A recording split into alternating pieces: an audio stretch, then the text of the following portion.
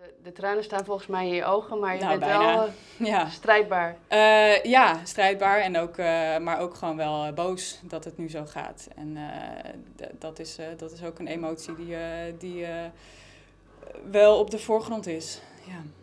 Want waar zijn jullie boos over? dat het hier weer op stuk loopt. En dat de boel niet geregeld is. In een, waar wij jarenlang onszelf bewijzen eh, als festival zijnde. En niet eens als festival zijnde, maar ook als beweging zijnde. eh, wat we voor de stad betekenen. Maar dat de stad eigenlijk, eh, of ja, dat, dat de kaders waarin we ons kunnen bewegen eigenlijk niet voor elkaar zijn. En dat, dat dat al jaren duurt. En dat, ja, nu is het zover dat het daar op stuk loopt.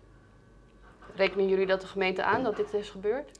Nou, ik vind wel dat je als gemeente eh, eh, niet alleen op de hoogtepunten moet staan klappen, maar ook nu moet zeggen: we zijn er voor jullie en we gaan het fixen met z'n allen. En die steun ehm, willen we heel graag voelen.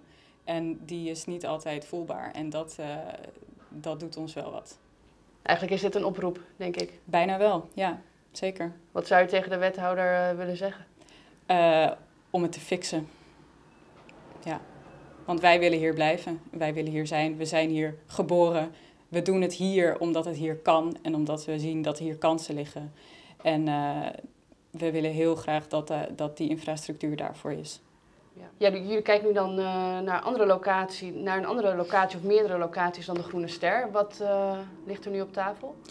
Ja, scenario's voor in de binnenstad. En eh, ehm, we kijken nu naar eh, waar kan het re- relatief gemakkelijk. Dus waar heb je bijvoorbeeld al eh, vergunningen voor eh, geluid, voor eh, publiek wat naar binnen kan, voor drank te schenken. En daar zijn we nu mee in gesprek. En dat gaan we straks ook verder bespreken en onder elkaar zetten wat er haalbaar is. Ja. Ja, en dan zijn het gewoon bestaande locaties, zoals, ik noem een bijvoorbeeld een harmonie of een neushoorn. Of, Ja, bijvoorbeeld. En dat, die hebben ons ook al een handreiking gegeven om daarover te praten. Hoe zijn de reacties vanuit de stad?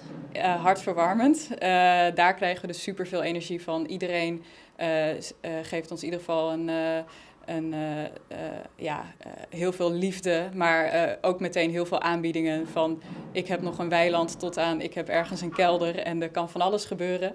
En dat is, dat is fantastisch dat, dat het zo gedragen wordt.